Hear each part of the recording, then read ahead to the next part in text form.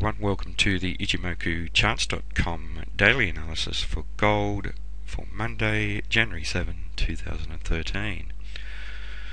Well, a continuation of the trend to the downside today. The previous day's trading, we had a candle that made a lower high and a lower low. Today, we have an inside day in bar chart terms, a day with a lower high but a higher low uh, that uh, inside day does raise doubt about continuation of the trend to the downside, and that's basically because the sellers weren't strong enough to continue the market trading down below the low.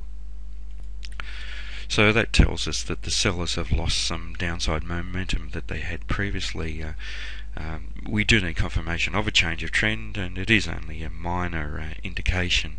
Uh, the basic thing is though that the trend is still down and we do need to remember that. But when we look at this candle from the previous day's trading very very large shadow on the bottom very very strong price rejection down below the support at 1643 which by the way has held as solid support today.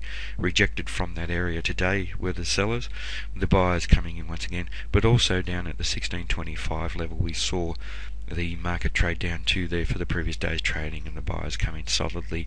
Uh, 1643 will be a very important level moving forward for this market tomorrow if we are going to see the trend uh, continue down or change to the upside. Uh, just above here we also have very strong support up around, uh, resistance around the 1667 level. Uh, but for today's trading, a day where the sellers did close with control of this market and a fairly large body on this candle compared to the previous day's trading. So some momentum gained by the sellers today, but uh, the strong price rejection from 64, 1643 does raise doubt about continuation of the trend. In terms of the Fibonacci extension, we're examining the relationship of the current first time frame downtrend to the previous time the market trending down.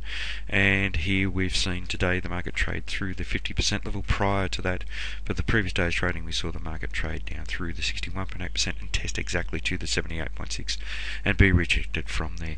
So that does potentially set this market up for a change of trend, even though we haven't seen the buyers take control of this market and looking at the Fibonacci retracement uh, for the previous day's trading we saw the market trade through the 100% and be rejected from there also rejected from the 61.8% but today the market has tested through the 61.8% level. So there is a possibility that if this trend does continue down we could once again test the 100% down around 1636 now in terms of Ichimoku, a bearish market in all three timeframes. Here we have the market trading down below the clouds, so we have a bearish market in the long-term time frame. We had the bearish breakout uh, some time ago in early December, and the market uh, went on with the move. We had strong follow-through, with the market rallying, finding resistance at the cloud as uh, uh, we all know, we Ichimoku practitioners know that the Ichimoku indicators hold as very strong areas of support and resistance. And then we had the market making a series of lower peaks and lower troughs confirming the second time frame downtrend uh, following the breakout down below the cloud. We also saw uh, the Tenkan-sen holding as uh, resistance to this market as it attempted to rally. But over the previous week, we saw the market rally through the Tenkan-sen, find the buyers found some upside momentum, only to see that the Kijun-sen here, the pink line, hold as resistance for this market and the market to sell off once again. So moving forward uh, here today, we've seen the Tenkan-sen hold as resistance and price action be rejected from there. So strong resistance overhead for this market, extending up to 1667, but certainly strong support down around the 1643 level.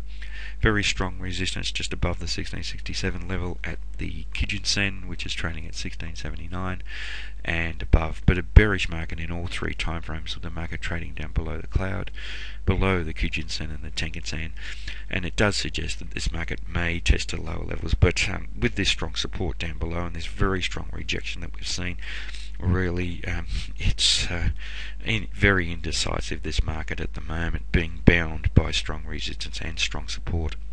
If we look over at the uh, span here that's below the corresponding price action. So that is confirming this bearishness that we're seeing in this market at the moment. Uh, so uh, a stronger likelihood of the market testing lower but really 1643 is crucial, as is the area around the Tenkan-sen at 1660 and the resistance at 1667.